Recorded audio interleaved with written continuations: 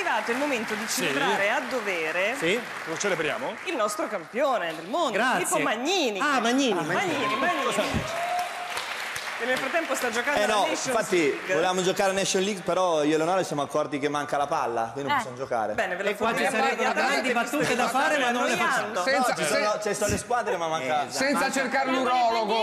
Ma però, manca il pallone. scusate, però se a sembra casa siete vicini a, a una come lei, per favore, non giocate a subbuteo. No, esatto. dell'altro. È solo una sembra uno simulazione, non lo fate, non lo fate. Bene, stavo dicendo che. Filippo Magnini lo scorso dicembre a sorpresa ha dato l'addio al nuoto. Sì, un, eh, un giorno Oltretutto è stato un momento, lo devo dire da sportivo, molto Di toccante che io, a cui ho assistito in diretta. Guarda, oltretutto vediamo com'è andato perché... Ce l'abbiamo? Io Eh, qualche guarda, lacrima l'ho fatta. Abbiamo proprio il momento. Vedi? Guarda, è stato un momento proprio...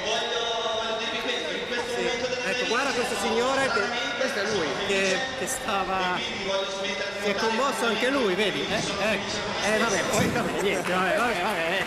Eh, È lui vestito quell'altro.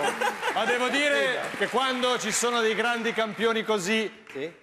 Eh, noi abbiamo un grande intervistatore, Dario Vergassola, scusate, non avete voglia.